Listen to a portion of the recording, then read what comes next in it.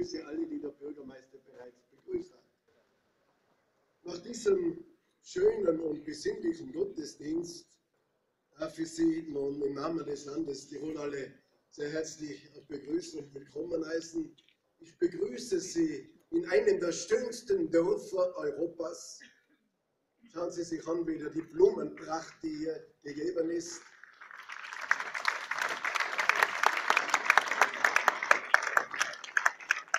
Ich begrüße Sie inmitten einer wunderbaren Bergwelt und ich begrüße Sie auch, weil wir hinten da ein Häusl gebaut haben, die Erweiterung des Forum Altbach, wo wir dann die Segnung vornehmen können. Wenn man sich das so anschaut, so kann man schon sagen, wir leben hier in einer beschaulichen Welt, wo wir uns zusammengetroffen haben. Wenn man den Blick hebt und in die Welt hinausschaut, kann man durchaus sagen, dass es ein Privileg ist, hier sein zu können.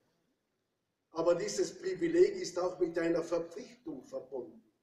Die Verpflichtung ist, dass wir auch alle die Aufgabe haben, zu schauen, dass sich die Welt, Europa und das Land ordentlich weiterentwickeln kann. Dass wir die Verpflichtung haben, mitzudenken, dass die riesengroßen Probleme, die wir in Europa und darüber hinaus haben, auch bewältigt werden können. Wenn ich von riesengroßen Problemen rede, so meine ich den Krieg in Syrien, im, im Irak. Ich meine den Terrorismus in Europa und die Gewalt in Europa. Ich meine die Sorgen und Ängste der Menschen aufgrund der Flüchtlings- und Migrationswelle, die wir zu bewältigen haben. Ich meine aber auch den Irrglauben, wo manche meinen, dass durch Nationalismus die Probleme bewältigt werden können. Ich meine auch den Vertrauensverlust von traditionellen Institutionen. Ich meine darüber hinaus aber auch die Situation in der Türkei und letztendlich auch Brexit in England. Ja, was können wir dazu beitragen? Ich habe das bei der Eröffnung der Festwochen der Altmusik bereits gesagt.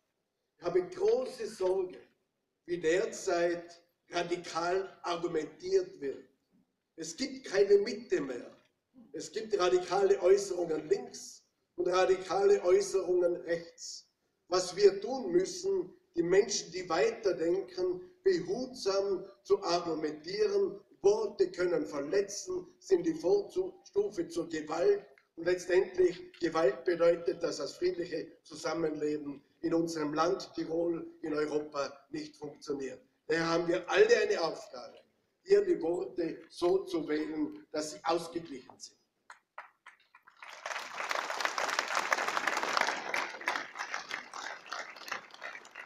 Außerdem, wir brauchen Europa.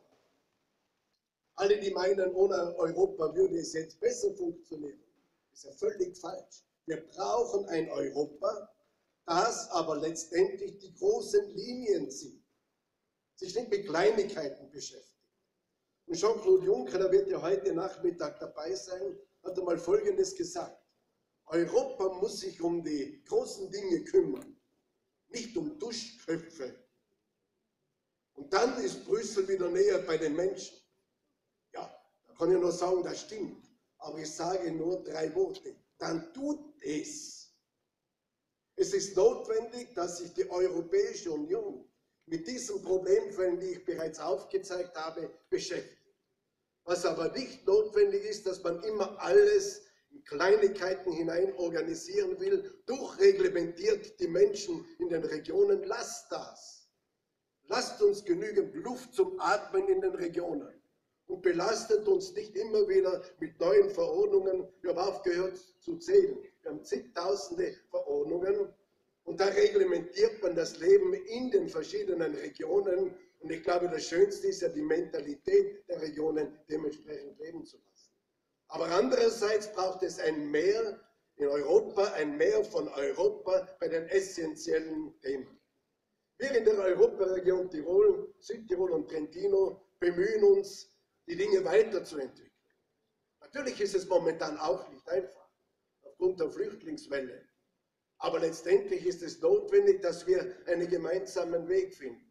Wir werden Jean-Claude Juncker auch dementsprechend eine Resolution übergeben, was wir meinen und uns erwarten von der Europäischen Union. Gestern haben wir einige Themen behandelt, die uns wieder weiterbringen sollen im Bereich Innovation, Innovationskette. Wir haben verschiedenste Projekte über die Bühne gebracht, ja insbesondere Forschung, Nahverkehr, aber auch Projekte für die Jugend und letztendlich Brenner Basistunnel.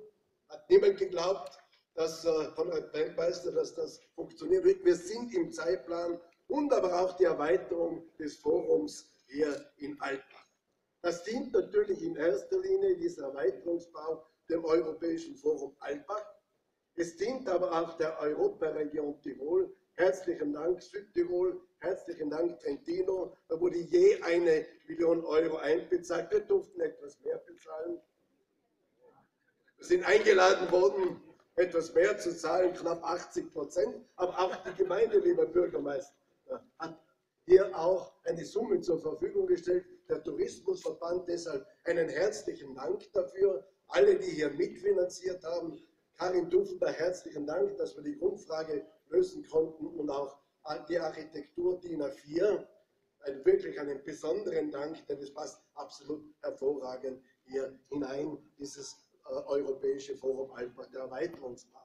Und wir werden seitens der Europaregion Tirol auch einige Projekte umsetzen, insbesondere für die Jugend, für die Schülerinnen und Schüler. Schulprojekte werden umgesetzt, Sprachausbildungen, damit hier auch der Mehrwert gegeben ist. Für die jungen Leute und natürlich alle, die hier sind, äh, dass wir hier einen Nutzen haben, auch für die Europaregion Tirol. Und ich wünsche und hoffe, dass auch der Tourismusverband und alle, die sich mit anstrengen, dass hier eine großartige Bespielung stattfindet für diesen Erweiterungsball des Europäischen Forums Altbach. In diesem Sinne, allen meine herzliche Gratulation, alles Gute.